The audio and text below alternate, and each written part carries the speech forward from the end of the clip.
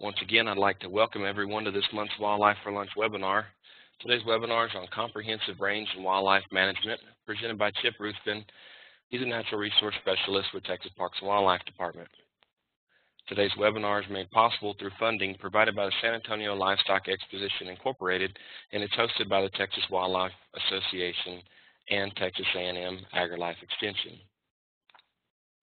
Chip, with that, I will pass the controls over to you, and you should be good to go. All right, thank you, Clint. I appreciate that. Uh, my name is, is Chip and I am with Texas Parks and Wildlife Department. Uh, I serve as a project leader for the uh, Panhandle wildlife management areas, and I oversee all the WMAs in the Panhandle region of the state. I've been up here a little over 12 years. Prior to that, uh, for eight years, I was the assistant area manager down at the Chaparral Wildlife Management Area down in South Texas. Uh, today, I'd like to go over with y'all uh, comprehensive use uh, or comprehensive range management, basically using all the tools in the toolbox to manage rangelands and wildlife habitat uh, throughout the state. Uh, you look at Aldo Leopold, father of uh, modern game management. Uh, his premise was that wildlife and or you could say range resources can be restored by the creative use of the same tools which have theretofore destroyed it. Axe, plow, cow, fire, and gun. I don't have the gun in this particular picture because we're really going to focus on these other uh, habitat management tools, axe, plow, cow, and fire. Uh, again, these management tools that I'm going to be discussing in this presentation. I'm going to be using the Matador Wildlife Management Area as a, as a subject matter uh, and as an example, uh, but these uh, tools can be applied to virtually in various degrees, can be applied to all the ecosystems throughout the state.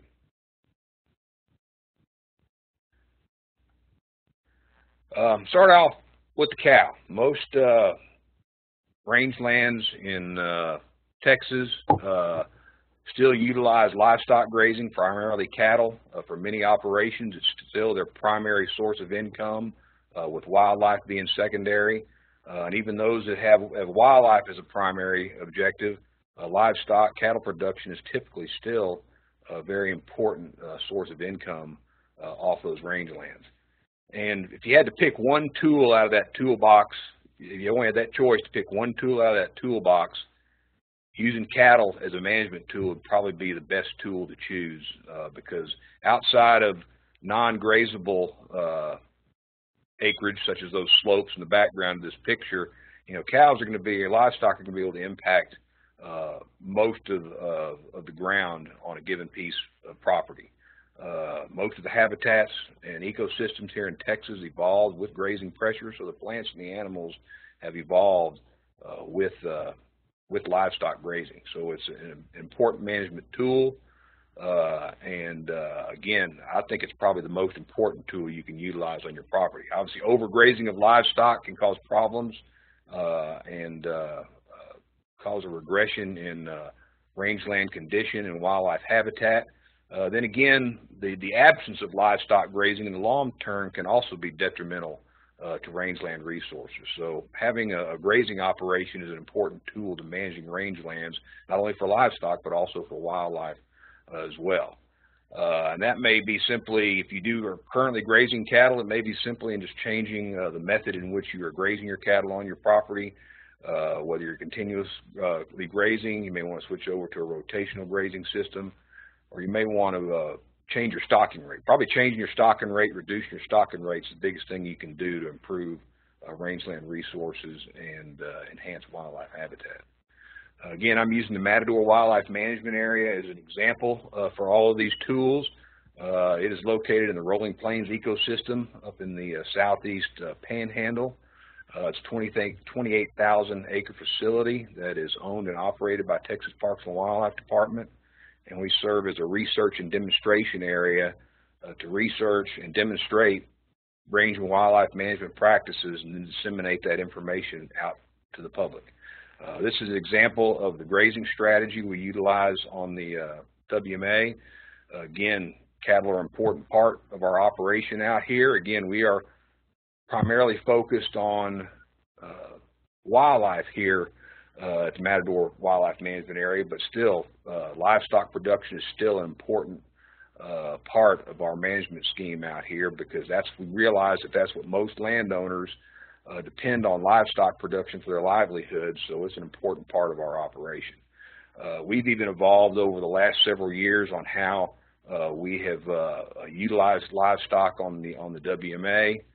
Uh, we yeah, I get a little hesitant here. I'm trying to look at some of these tools on my screen. It may take me a while to kind of figure these out, but hopefully I'll get those, get them figured out here, and it'll run a little bit more smoothly. Sitting there, look, sitting there looking at this computer screen is not a normal activity for me. Talking into a into a computer screen is not a normal activity for me every day. Uh, we had really started out, we started out one herd rotating through multiple pastures. We've evolved to this particular system that you see here uh, on the screen. Uh, three herds, rotational uh, rotational uh, grazing system. Uh, cattle will be in these pastures anywhere from three to seven months in rotation. And from a stocking rate standpoint, we utilize NRCS stocking rates. the NRCS standard is pretty a universal standard that folks tend to use. And we set our stocking rate at 70% of the full stocking rate. Uh, this allows us uh, to basically have our drought contingency plan is basically built into our our, uh, our strategy year round. Uh, at that 70% full stocking rate, when we do have a dry year, we can typically get by without having to reduce uh, our stocking rates. We can maintain our stocking rate. may have to modify our rotations a little bit, but that allows us to keep a fairly consistent stocking rate. in years where we produce additional herbaceous matter. Uh, we'll use that uh, for our prescribed burning uh, operations, which is, again, another tool that I'll get into here uh, a little later. Looking at some of the uh, species that uh, we have issues with here in, see if this is going to, there we go. throughout most of Texas, honey mesquite is probably one of the biggest woody plants that we have problems with uh, on rangelands as far as uh, deterioration of range condition. Uh, a lot of the range management improvements going to deal with control or managing woody plant species uh, that have become uh, a problem and deteriorated the, the condition of rangelands. Honey mesquite uh, found over most of the state except extreme East Texas.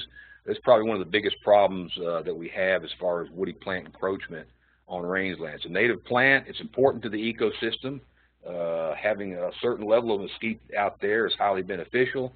I mean, the mesquite beans are utilized by wildlife and livestock, uh, and uh, they're a good emergency food source. Usually when you have a good mesquite, mesquite bean crop is typically during a drought when you may need that extra forage out there for wildlife and livestock. Uh, they also provide cover for wildlife, uh, nesting substrate. Uh, species like scissortail flycatchers will use mesquites uh, to nest in. But too much mesquite on, on the rangeland can cause deterioration of that range land and its condition, and you need to employ some kind of control mechanism. Another species that uh, a group or a group of, of, of, several species that is found statewide are junipers. Uh, out in the western parts of the, of the state, we have redberry juniper uh, there on the, uh, the left. Unfortunately, it is a resprouter, uh, which is something we have to contend with. Uh, you also get into central Texas, you have ash juniper, uh, which is not a resprouter, which means you, you remove the, the plant, the top of the plant, you've killed the plant. Uh, and then down there in the bottom corner, we have eastern red cedar, which can be a problem over in eastern portions of the state, starting to encroach in some of our uh, riparian habitats up here in the panhandle. Fortunately, it is also not a resprouter, so you can manage it through uh, top removal. Oaks, uh, this pick, pick case here we have shin oak, but it could be shin oak up here in the panhandle. It could be running live oak down on the coastal plain. Uh, it could be a post oak in uh, uh, the cross timbers. Uh, again, oaks, highly beneficial to the ecosystem. I mean, a lot of wildlife depend on oak for cover. Uh, they depend, deer depend on the foliage uh, as a food resource, and of course, a wide variety of critters uh, utilize the acorns. But when oak forms dense dense and dense mats, uh, suppressing herbaceous vegetation, you've got that rangeland deterioration that you need to want to come in and address uh, in order to improve the condition for both wildlife and livestock. Prickly pear. Uh, the larger uh, prickly pear there in the background of the picture is Texas prickly pear, or what a lot of folks refer to as South uh, Texas prickly pear, uh, common throughout South uh, Texas on up into portions of Central Texas. Down there in the lower right is a picture of Plains prickly pear, which is one of the species we have up here in northwest Texas. Uh, it's a lower growing species of pear, forms dense mats, uh, and, and can become a problem. Again, prickly pear is still an important part of the ecosystem, provides uh, forage for wildlife, burn the spines off it, it can provide forage for livestock, and it's also an excellent source of water uh, for wildlife as well. But densities can get to a, a, a level to where they need to be managed to the benefit of your rangeland resources. Uh, some of the uh, exotic species that we have issues with, uh, that are not native, such as salt cedar. Uh, it's a problem out here uh, in West Texas. It has invaded uh, a lot of our riparian areas. It outcompetes the native vegetation as far as both woody and herbaceous vegetation. Other than providing a little bit of cover to wildlife, it provides no other other value out there. And This is one of the species that we would love to completely eradicate uh, if possible. That's uh, unfortunately that is not possible, but uh, still one of those species that really need to be controlled uh, along our riparian areas uh, to increase and improve uh, rangeland condition. Other species, you know, non-native species that may have issues with in the other part of the state may be a Chinese tallow tree down on the mid and up, upper coast. Getting into one of the tools uh, that we use quite extensively as an excellent uh, tool to use is chemical treatments or use, use of herbicides. Uh, aerial applications are the best way and the, probably the most cost-effective way to treat uh, dense stands of target vegetation, whether it be mesquite or shin oak, uh, and uh, it's probably the most cost-effective method for treating large areas densely infested with targeted vegetation that you want to manage areas where you have light densities or areas where you might have uh, other uh, beneficial trees that may be susceptible to herbicides you want to keep, you know, such as this cottonwood uh, up here. Uh, you can go in and use individual plant treatment using a backpack sprayer, spraying off of an ATV and individually treat uh, target plants. In this case, it's uh, salt cedar. Looking at some of the herbicides used for treating some of these species. Uh, some of these names tend to get me tongue-tied, so if I botch them, please uh, forgive me. Uh, but uh, mesquite, typically the uh, primary ingredients and herbicides that are used to uh, treat mesquite are triclopyr and clopyralids. they're two of the main ingredients used in herbicides to treat mesquite. juniper, hexazinone, oaks, tebuthiuron, prickly pear, uh, picloram, and then salt cedar. This would also include uh, Chinese uh, tallow as well. Uh, would be imazapyr are the, the, chemicals typically used to uh, treat those areas. Looking at aerial applications, mesquite applications nowadays with uh, current herbicides, you're probably looking at 35, uh, 25 to 35 dollars an acre for treatment.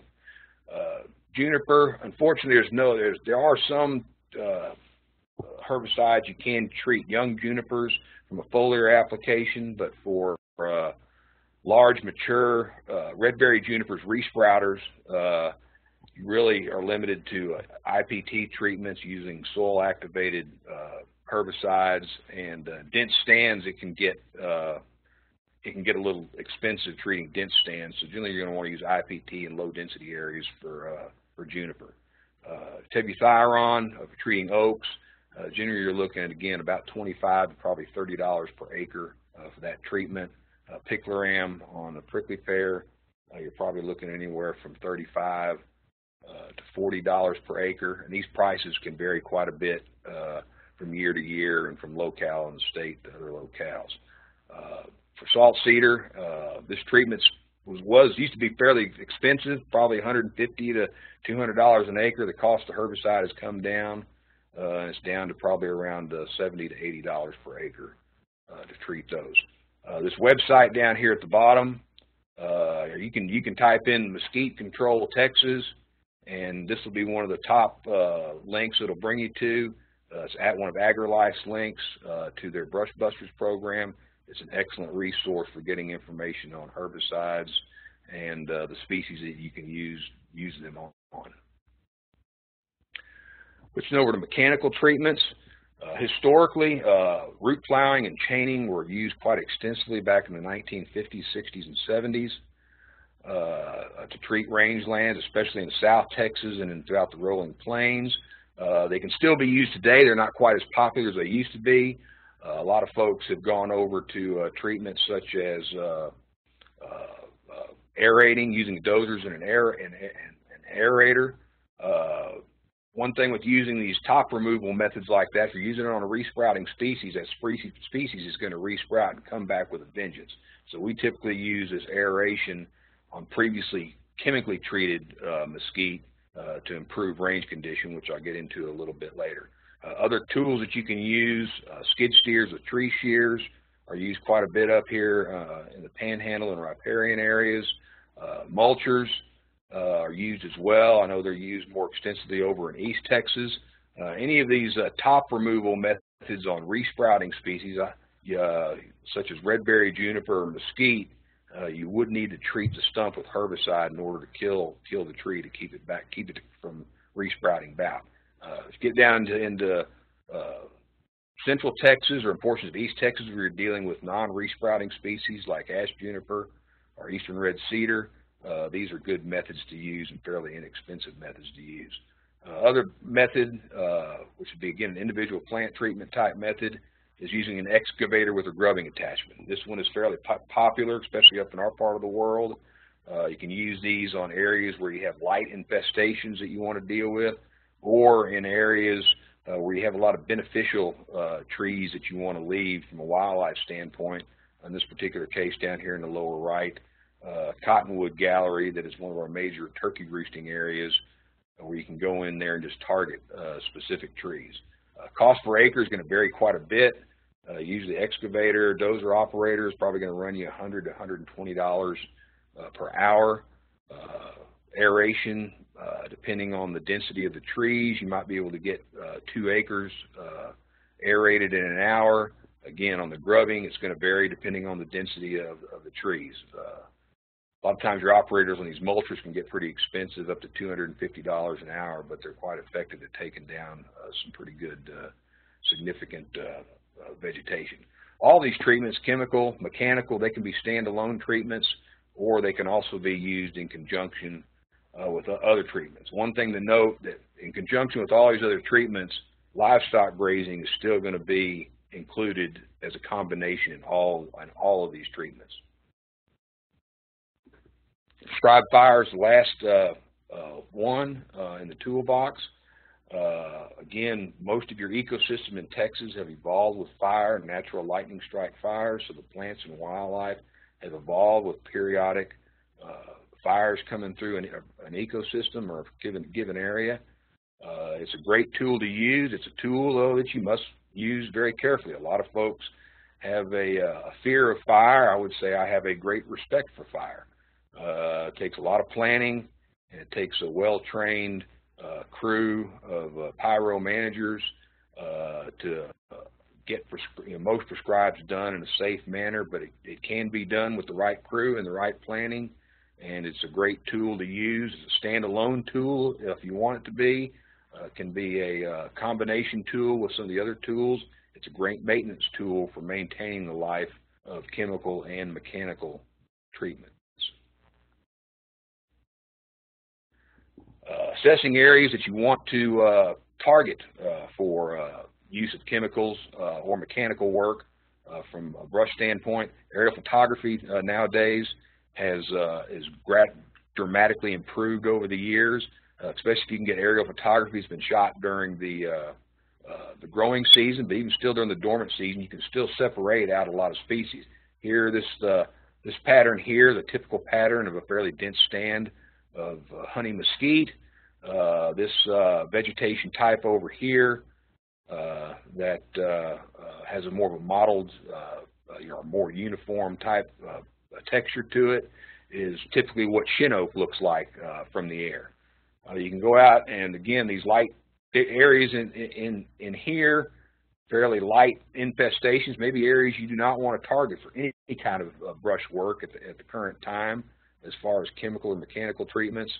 Uh, these other areas, you want to uh, treat them, you can go out and either digitize them or collect data points off the ground by foot or uh, an ATV and delineate these areas with a GPS that you want to target for treatment. Or you can simply just delineate them based off the aerial uh, photography uh, and then you take those shape files from a, a, a, aerial spraying standpoint. You can give them to the uh, contractor and the pilot. He'll plug these into the computer. Everything's computerized nowadays for the most part.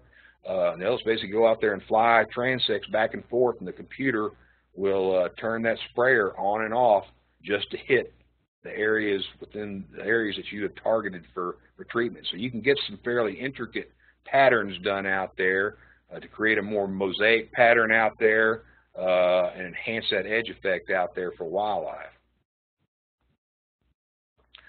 Uh, this is a typical stand we may have uh, that we want to employ some uh, treatment. Uh, you know, some landowners, this may be okay. They may not. They may say this. I don't have an issue with this level of, mes of mesquite out there. Uh, from our standpoint, we're managing for wildlife, primarily grassland wildlife. So in order to uh, enhance that area for grassland wildlife, we want to treat mesquite in areas like this. So we'll go out, we'll map out areas that we want to target. we'll fly on the appropriate herbicide uh, during the appropriate time of the year. And uh, then this is typically what we're left with. And this may be all landowner wants to do. He's, he's reduced that mesquite canopy, the influence of that mesquite tree.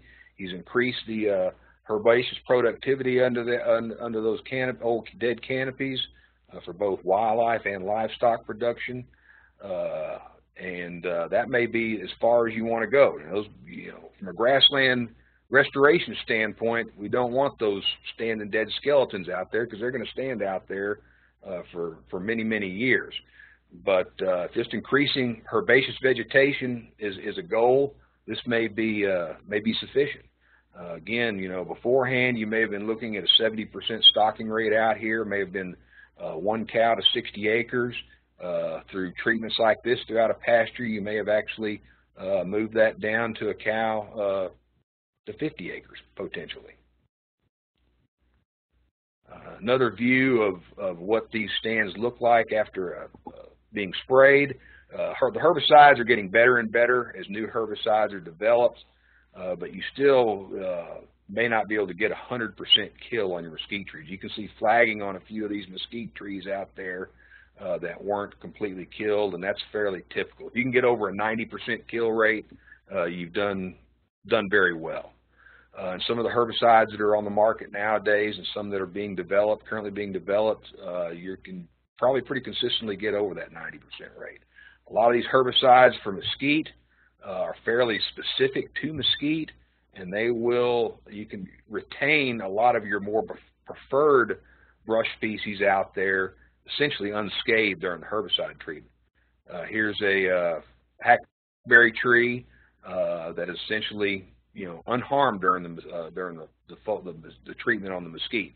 They may get burned back a little bit, but they will they will come back, and you can maintain those those beneficial species out there, such as hackberry, lotebush, et cetera. Those other species you want to leave out there uh, from a wildlife standpoint. Uh, again, from a uh, from a uh, from a wildlife management standpoint, again, you know, you may have increase that herbaceous vegetation out there may be your primary goal and you're happy with that situation there. Uh, however, from a, from a, quail hunt standpoint, I would not really be crazy about throwing my dog out there and going quail hunting. Although you may have improved that, that herbaceous level for, for quail, it's still not going to be a, a, great place to be uh, trying to follow a bird dog through quail hunting.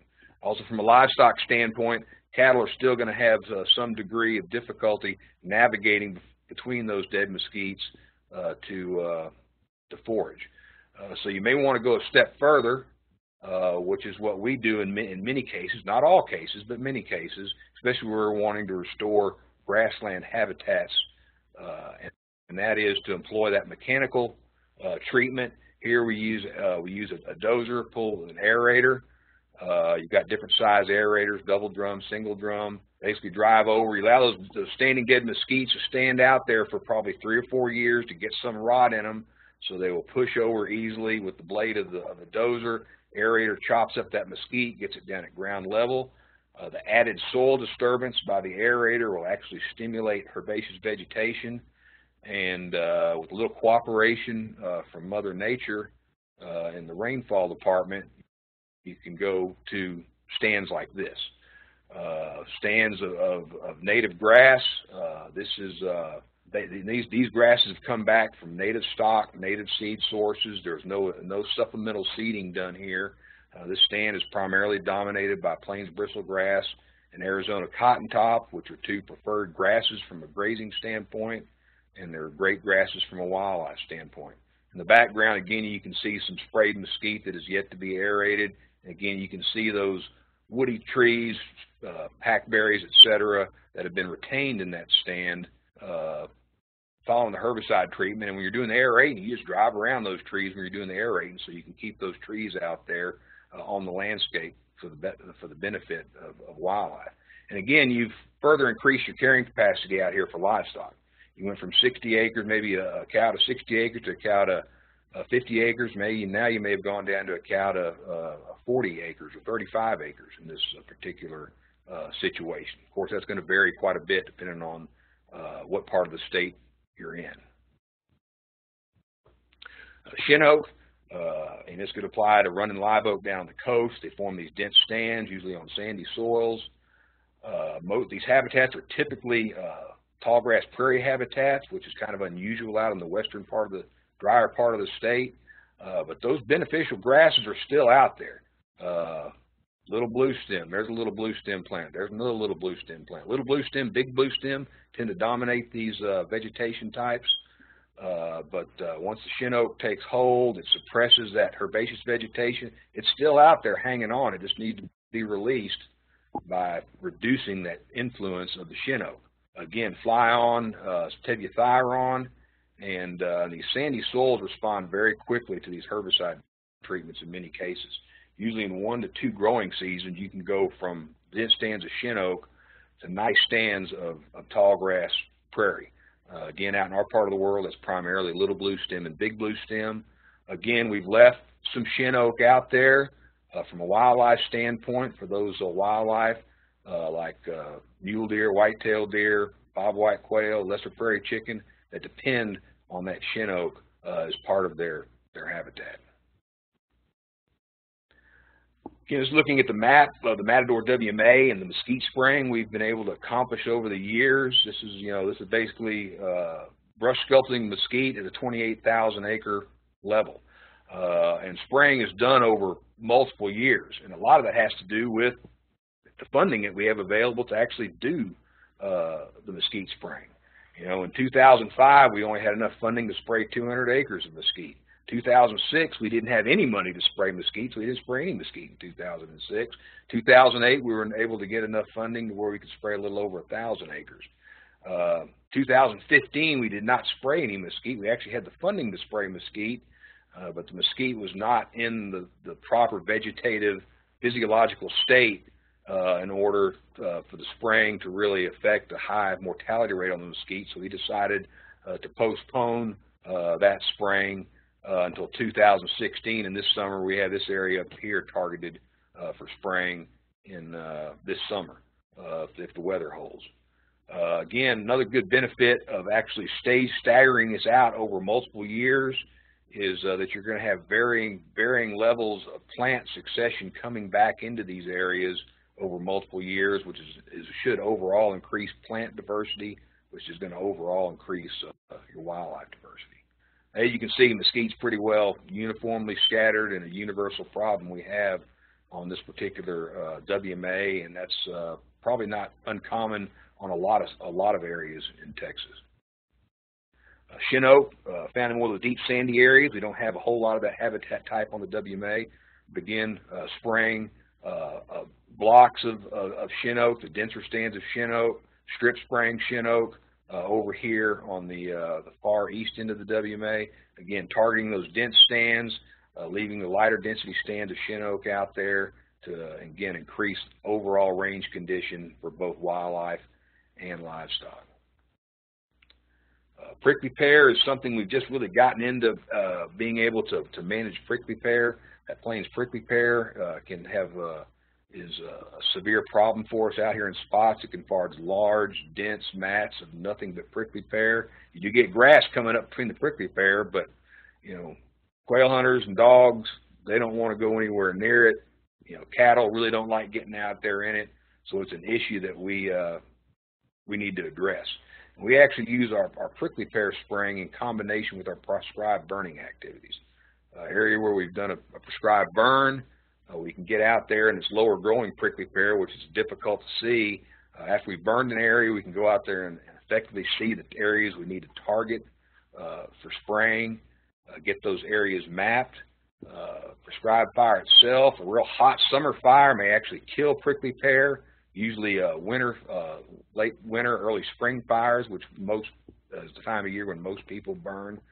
you're not going to, you're damage the prickly pear, but you won't kill it. Uh, but if you get enough damage to the prickly pear by the fire, you can actually cut your rate of herbicide in half uh, that you apply uh, to, to, the prickly pear. Uh, anyway, we'll go in there and target these areas uh, after prescribed burns where we've got severe damage to the pear. We use the half rate to get the prickly pear control. Where we get very little damage to the prickly pear, we use the use the full rate. And again, targeting those areas that are just you know you're looking at 70 to 80 percent coverage of prickly pear in many cases.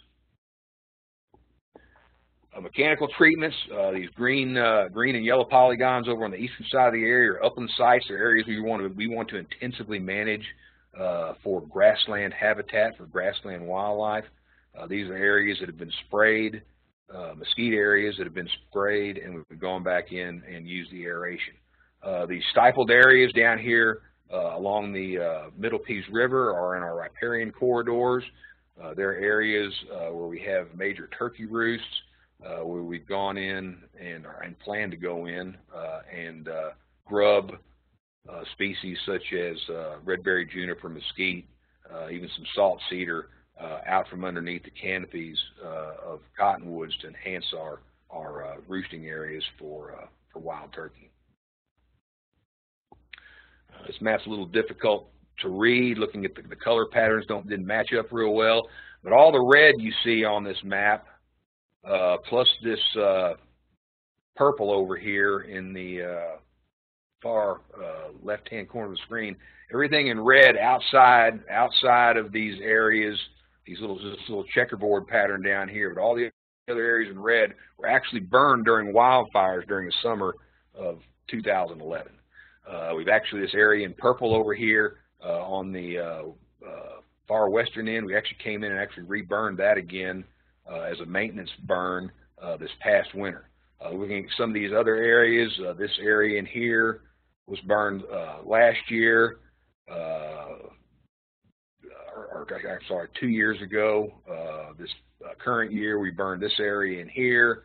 We had area, areas two or three years ago where we burned areas up in here, uh, down here as well. So we use a, a, a checkerboard pattern of, of burning uh, throughout the, uh, uh, the, the, management area.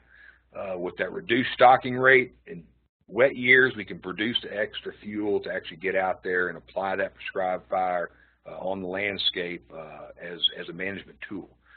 during the last couple of years, we've, been, we've had wet years, had good forage productivity, and we've burned approximately 4,000 acres each year over the last two years.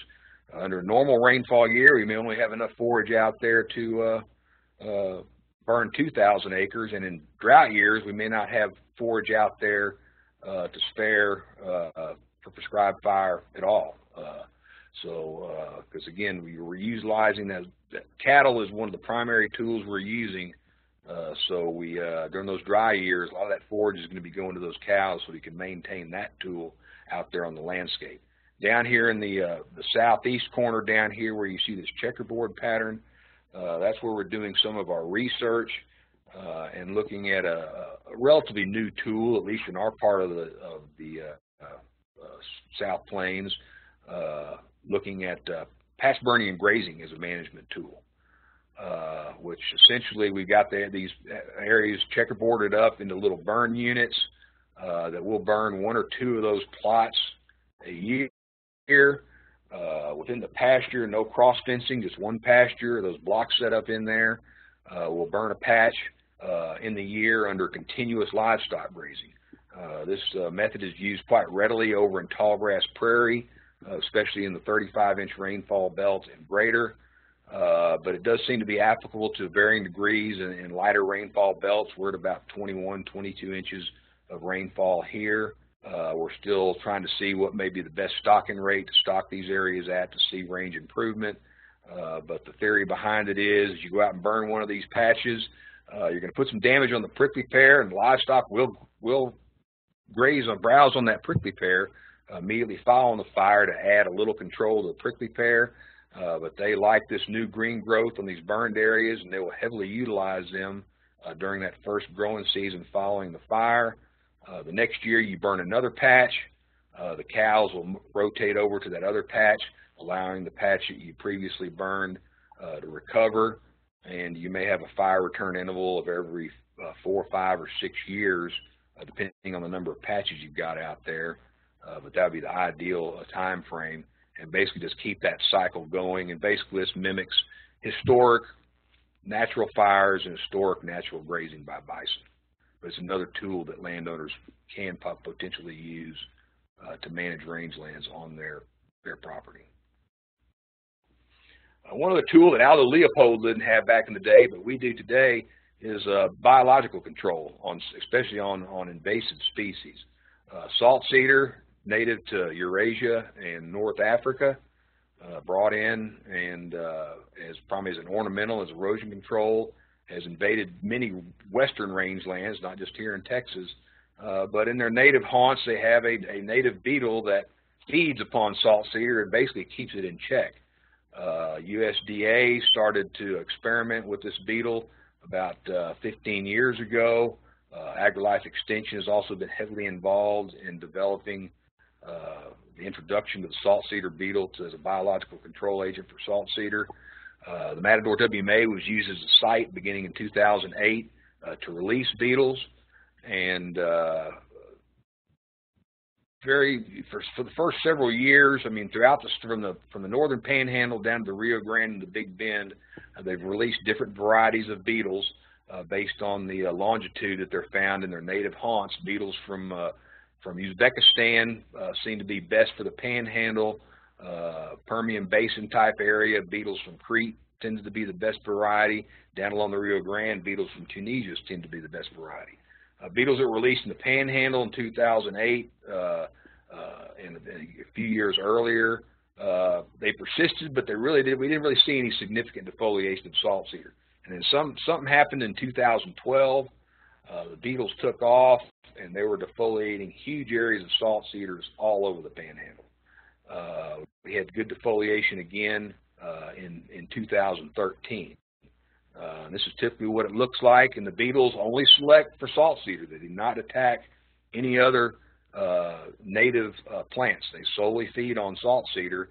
Know, we had good defoliation in 2012, 2013.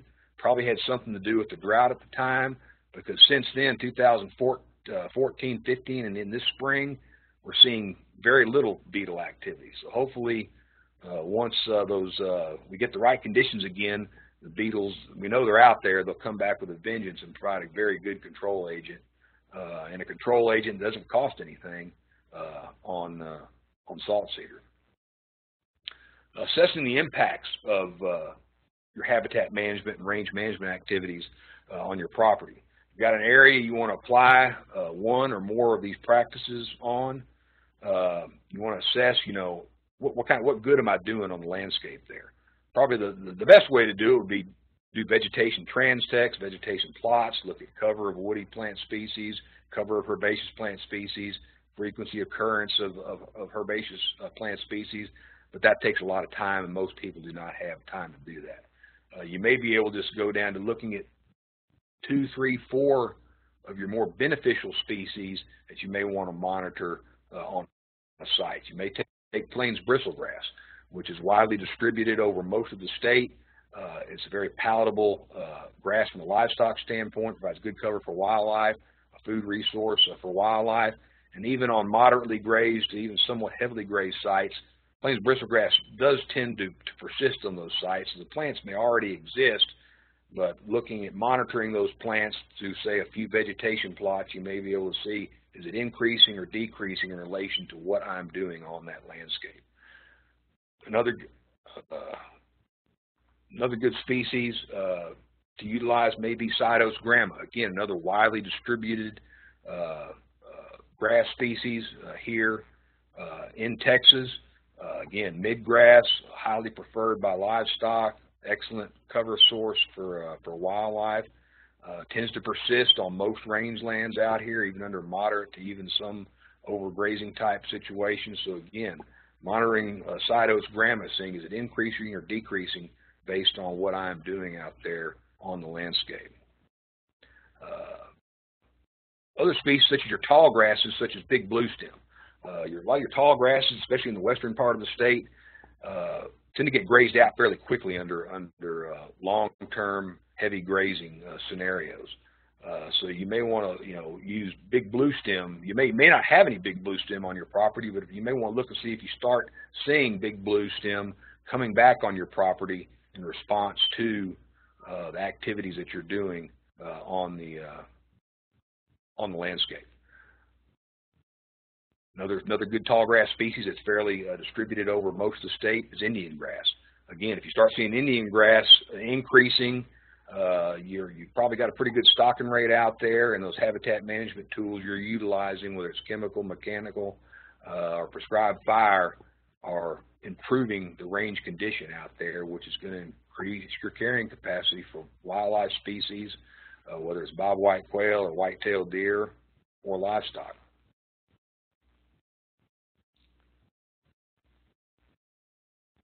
You may pick a forb. Uh, this is Engelmann daisy. Uh, it's, it's, again, it's widely distributed over most of the state, extremely common in the hill country, uh, fairly very common up here in many parts of the panhandle. Uh, it's a highly preferred forb for livestock and a highly preferred for, for, for wildlife. Uh, you drive down through the hill country, you'll see lots and lots of Engelmann daisy on the roadsides. But you look across the fence, and in most cases you're going to see no Engelmann daisy out there because it's been grazed out by either livestock or deer or other wildlife species. So it's an, a good indicator species. If you start seeing an increase or you start seeing the presence of Engelmann daisy uh, out there, uh, on the rangeland, on your rangelands, uh, then you're, you're, probably making some good progress on improving the range improvement uh, out there. Here on the Matador WMA, this is one of the species we look at just from an anecdotal uh, observation. Uh, in 2004, pretty much the only place you saw Engelmann daisy out here was on the highway right-of-way out here right in front of the, of the management area. It occurred out on the management area, but it was very sparse. Uh, today, it's it's a fairly common uh, thing to encounter Engelmann daisy out on the management area.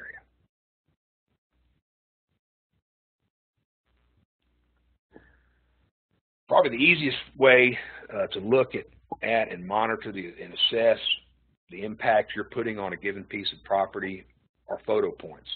Uh, you go out, take two T-posts, drive them into the ground fairly close to one another, uh, paint one T-post, a different, the top of the T-post a different color, we paint them yellow.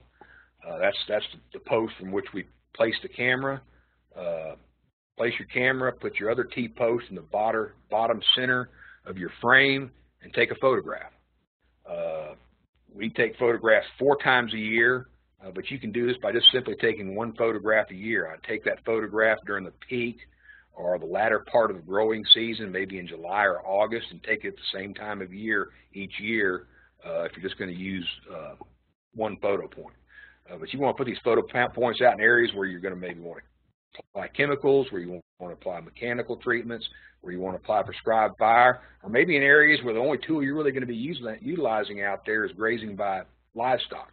So again, over a long-term period of time, you can see how the influence of those management tools are influencing the range conditions you have out here. This is a site here on the Matador WMA.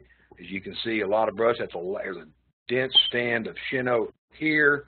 Uh, over on the far western horizon, uh, that dark green is uh, honey mesquite. We've gone in there over again. This picture was taken in July 2009. Had sprayed some mesquite in 2007, but again, 11 and 14 mesquite spraying over several years. Uh, sprayed that shin oak in 2012. Uh, we did a lot of aeration over there in the far horizon up there. So you notice that that solid green over there was sprayed and then aerated. And then in uh, March of 2015, we ran a prescribed fire through there.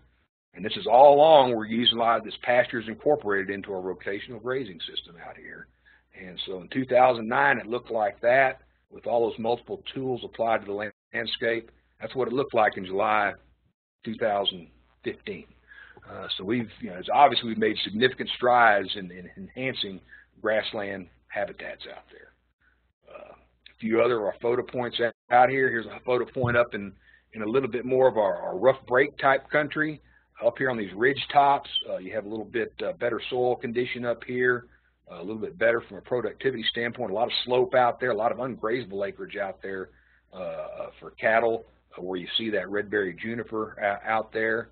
Uh, these areas of mesquite, a little bit better productive soils.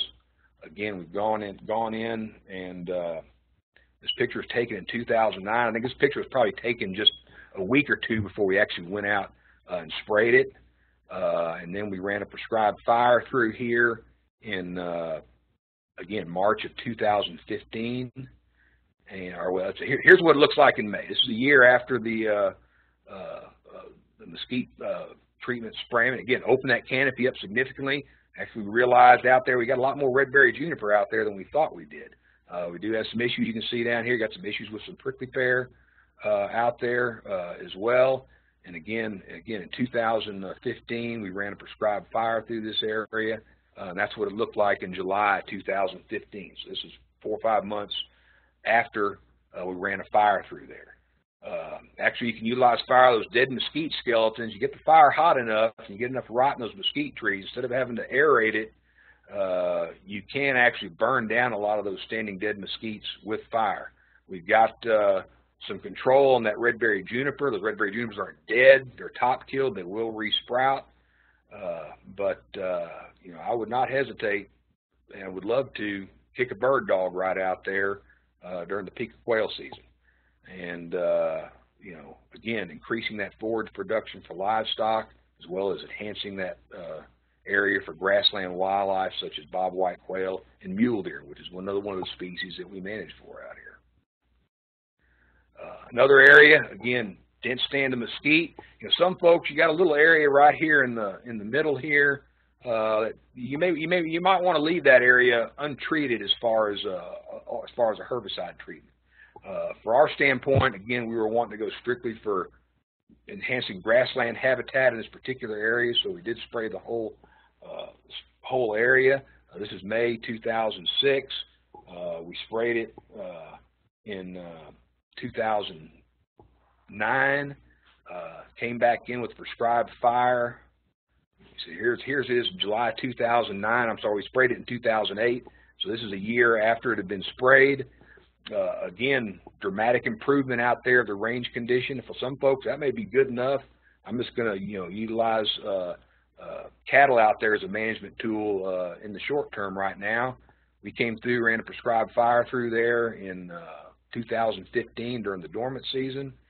Uh, and again, another area I'd love to kick a bird dog out out there in the middle of middle of January. Uh, got some uh, control, measure of control from the fire on the redberry juniper, but we've enhanced the uh, uh, the grassland habitats out there and increased the carrying capacity for wildlife and livestock. This is taken from the same vantage point. It's actually looking over into an adjoining pasture. Uh, again, it was sprayed uh, at the same time. Uh, you can see back here in this uh, uh, upper uh, right-hand corner there. It almost looks black. That was an extremely dense stand of mesquite. We did we did come in and do some aeration work in there. Uh, the fence line right here, uh, everything on the right side of the fence line uh, uh, is basically the same treatment that was applied to the previous slide. on the right-hand side, on the left-hand side over here, Uh, this area was actually subjected to a prescribed fire in, I'm sorry, it was subjected to a wildfire uh, in 2011. So we had a wildfire in 2011. Uh, we started some aeration in 2014 out there. So other than the wildfire, there had been no other fire applied uh, out here. And uh, this is what it looks like uh, in this past summer, July 2015. Down here you can see see a little strip there back in the in the back there that uh, we've gotten aerated, and we're, we're, right in the middle of the process of getting that little area aerated down there again to to enhance uh, those grassland habitats. Uh, riparian areas this is along the Middle Pease River. Uh, the uh, lighter green vegetation uh, down along the river there is salt cedar. Uh, we sprayed it back in 2009. Uh, back here in the uh, far uh, left-hand corner here, that area was actually part of the WMA that burned during a wildfire in 2011. Uh, this didn't stand of mesquite right here was sprayed in 2014. Uh, and this area here in the uh, the foreground here, or mid foreground, uh, you can see all that red berry juniper in there. We went in in uh, actually June of 2015, and we went in there and grubbed out red berry juniper, mesquite, and salt cedar from that area. And that's what it looked like last summer in July uh, 2015. You can see the impact of the prescribed fire, I mean, of the wildfire back there on uh, uh, herbaceous vegetation, uh, the impact of the spraying of the mesquite and the salt cedar, and the impact of the grubbing out there as well. Show you the, the, the, the, impacts of wildfire, here's some of our more rough break country, dense stands of juniper and, and uh, honey mesquite, uh, a lot of prickly pear out there as well. Uh, wildfire came through here in June of 2011, and, and uh, that's what it looked like in July 2011. very hot fire, and you can actually recreate this conditions through a prescribed fire it takes a lot of planning and a well-trained crew to do it, but you can you can do it. You know, if you're willing to sacrifice a couple years worth of livestock grazing out there, and uh, a couple, you know, and some and some uh, loss of wildlife habitat in the short term, uh, you can mimic these types of uh, treatments. Because again, unfortunately, right now there's not a good effective area, foliar spray to treat mature uh, redberry juniper, at least not that I'm aware of. I know some are in the, in the development. You know, once we get a good foliar spray that will uh, will kill redberry juniper without uh, too much damage to the other uh, resources out there, uh, we may be able to make a lot more headway on uh, on juniper control. Anyway, this is July 2011. Uh, this is what it looked like back in July 2015. Uh, we'll actually try and go, you know, since all those volatile fuels have been removed, we'll try and get back in there and uh, apply prescribed fire to this area probably around 2018. Go in there and re-top kill a lot of these uh, mesquites and, and redberry junipers. Here's a redberry juniper that's resprouting. Uh, if you look at some of these other plants over here, here, here there's one there, there's one there. Uh, that's vine ephedra. Uh, they responded very positively to that wildfire. They came back. Uh, almost all the plants came back. We didn't have any, we observed very little mortality on vine ephedra which is again another great browse species uh, for deer and cattle we utilize as well. Uh, this is an area where we did a lot of where we did some juniper IPT. Uh, primary the vegetation out in the foreground is, is redberry juniper and uh, sumac. Skunk bush sumac, one of the preferred browse species we want to retain out there. Uh, went out there, light density of redberry juniper, treated them over two or three years. It's, it's amazing how you go out and think you got them all treated. Next year you'll see a bunch of green trees out there that you missed. So you have to go back out there and uh, retreat them. Uh, and that's what that area looked like in, in July uh, 2015. Uh, another riparian area along the South Pease River, or the Tongue River. Uh, there's, some, there's cottonwoods back here uh, in the, the background. Again, one of our major turkey roosting areas. It's been invaded by redberry juniper, but also mesquite and salt cedar. Uh, we came in with a grubber. We removed all the redberry juniper, salt cedar, and mesquite. and retained all the cottonwoods. We retained all the hackberries, the chittamwoods, um, the soapberries, those browse species that are beneficial to wildlife uh, and, and, and serve as roosting trees for, uh, for our turkey. Uh, we came in, we did that in, in, in summer of 2014. That following winter of 2015, uh, or we gone in in 14, we we grubbed it and we root raked all the brush into piles. We burned those piles during the winter of uh, 2015, and that following summer, that's what that area looked like that following summer. Again, increase the carrying capacity out there for all resources. Another area I'd love to kick a bird dog out into uh, during during quail season. One last series of uh, a couple last series of slides. Here's another area again treated uh, mesquite uh, that was uh, treated actually treated in 2014. Uh, we ran a prescribed fire through there this, this past March. Uh, that's what it looked like in July 2015. That following uh, uh, winter, this past spring, March 2016, we ran a prescribed fire through there, uh, and that's what that pasture looked like earlier this week. I think I took that photograph on on Monday. Uh, again, part of our cattle rotation. Uh, you know, cattle this this pasture will get full growing season rest. Cattle come back in late in the fall to calve out in this particular pasture next winter. Uh, use of just fire alone in riparian uh, uh, floodplain of the Middle Pease River, dominated by mesquite, some some redberry juniper, some salt cedar as well.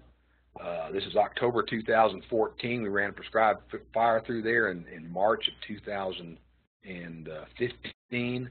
Uh, that's what it looked like one month after we ran a prescribed fire through there. A little too early to tell what's still alive and what's dead as uh, most of these deciduous trees had not leaked out that for the year. But then July that same year, you can actually get a get a lot of uh, improvement in, in control of woody species just by using prescribed prescribed fire alone. I think this is the last set I've got here. Again, riparian area along the along the Middle Pease River. Uh, the darker green out there is salt cedar. Uh, the light green out there is mesquite. This is May 2012. This is right about when we got that good outbreak uh, or good infestation, desirable infestation of salt cedar beetles. Uh, this is what it looked like in July 2013. Uh, you can see this little area down here, it's totally defoliated. That was actually defoliated in 2012. It looks like we actually got some mortality on those salt cedar trees in 2012. The rest, everything you see out there is brown is defoliation by salt cedar beetles during July of 2013. Uh, ran a fire through there. Again, it was in late winter, early spring of 2015. And that's what that area looks like that following July. Burned down a lot of that standing dead uh, vegetation, a lot of that grass coming back in along that uh, floodplain of the Middle Pease River is switchgrass. Uh, another excellent forage grass for livestock, a great uh, cover and food resource uh, for uh, wildlife as well. With that, I'll, I'll, wrap it up. For those folks that are that, that, that want would like technical assistance in managing their properties, Texas Parks and Wildlife Department uh, this, we have the state is divided up into, into eight wildlife districts. Within those districts, uh, we have multiple wildlife biologists. Each biologist is assigned uh, a suite of counties. So each county in the state has a Texas Parks and Wildlife biologist uh, assigned to it. Uh, those district biologists, one of their primary functions is to provide technical assistance uh, to private landowners. Also, within each one of those eight wildlife districts, we have a technical guidance biologist. some districts have two technical wildlife biologists. They're usually a senior level staff member uh, they cover the whole district, and uh, one of the, their primary purpose is, again, to provide uh, technical assistance uh, to uh, private landowners in managing uh, their property, their rangeland resources based on their specific goals and objectives. And then we've got our wildlife management areas that are scattered throughout the state. we've got several of them that are research and demonstration areas like the Matador WMA, located in, in, in other eco regions, the Kerr, uh, the Chaparral WMA, the Gus Engeling WMA, uh, just to name a few, but we have them down on the coast as well. Uh, Piney Woods, Northeast Texas, uh, Trans Pecos, Uh, Elephant Mountain is, is one of the primary research and demonstration areas out there in that part of the state uh, where we employ these types of practices on our own properties uh, so landowners can come out and actually see what the use of those habitat tools Aldo Leopold recommended, uh, how they're going to influence the ecosystem out there the betterment of overall range health and improving productivity of wildlife uh, and livestock. Of course, uh, AgriLife Extension has wildlife specialists scattered throughout the state that can also provide uh, technical assistance in, in, conjunction with their, you know, assisting their county agents in applying that. Uh, and the NRCS also has wildlife biologists scattered throughout the state. And then our NRCS also has range conservationists and soil conservationists assigned at the county level uh, as well that can assist landowners in managing the range, rangeland resources on their property. Uh, NRCS FSA also has cost share programs uh, to help landowners to implement some of these practice, practices. Uh, also, even with Parks and Wildlife, we have uh, some cost share programs as well that we can use to assist landowners uh, in improving the habitats on their rangelands. Uh, with that, I, I thank y'all for y'all's attention, and I'd be more than happy to open it up to questions if we have time. We do, Chip. Thanks for the presentation. We've got three questions so far. I would encourage anybody, if you still have questions, post them up, and we'll we'll get to them in the order they come in. First question we have says, I have a small property, about 50 acres, and it's dense with Ashe juniper. These provide an abundant habitat for small birds of all sorts. If I remove these invasive bushes, will I hurt my plant, my bird population? Uh, it, it's a possibility. It depends on because you do have some birds that are dependent uh, upon that uh, juniper. Uh, the food, of golden cheek warbler is the first one that comes to mind, which is a federally listed uh, species. So, you know, in turn, you could be harming some bird species, uh, but uh, by, you know, removing that dense brush and creating a more of a herbaceous component to the, uh, to the area out there, you're going to benefit other species. Okay. This person has a small mesquite, uh, has some small mesquite that they want to kill, but they're very close, within a couple feet to a much larger mesquite that they want to save. Is there a safe method to do this with herbicide, or is mechanical method the best? Uh, if it's in, in, really in close proximity uh, to the mesquite they want to want to keep, I would probably try uh, some kind of mechanical method. Uh, you get those mesquite trees, there may be enough, you know, connect, connectivity of that root system down there, depending on how close it is to that other mesquite, uh, that I'd be a little leery to use uh, herbicide. So I'd probably use some kind of mechanical method for removing those undesirable mesquites. Okay, and then among cottonwood, hackberry, cedar elm, and post oak, which would be the preferred roosting tree or trees for turkey? Uh, cottonwood's probably is probably going to be your primary roosting tree uh, for turkeys, uh, especially in our part of the world. Uh, over in the more eastern part of the states, uh, they'll probably they'll, they'll, use a variety of other trees, but cottonwood's probably the primary uh, roosting tree uh, for turkeys.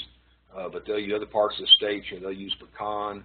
Uh, they'll use uh, they'll use oaks, live oaks, probably even post oaks. The, any, any sizable tree that provides the limb structure for them to be able to fly up into and, and roost upon, they'll utilize. Okay. Next question says. I have a 177 acre place near Snyder that was burned in a wildfire, wildfire in 2011. Since then, I'm being overtaken with what they believe is cat claw mimosa on a 100 acre CRP portion of the property. What's the best treatment option other than spike 20P uh, because the spike is too costly? Uh, you know, I, am not sure what other herbicides uh, might work. That's where you know the Brush Busters uh, website might be able to help you out there. Probably your local uh, NRCS uh, agent would probably help you out on this, on any other herbicides that might work uh, on on there. Uh, be honest with you, I think it's probably going to you're probably hard pressed to find a cheaper option uh, than uh, than using uh, that tebuthiuron uh, on uh, on that uh, cat claw acacia.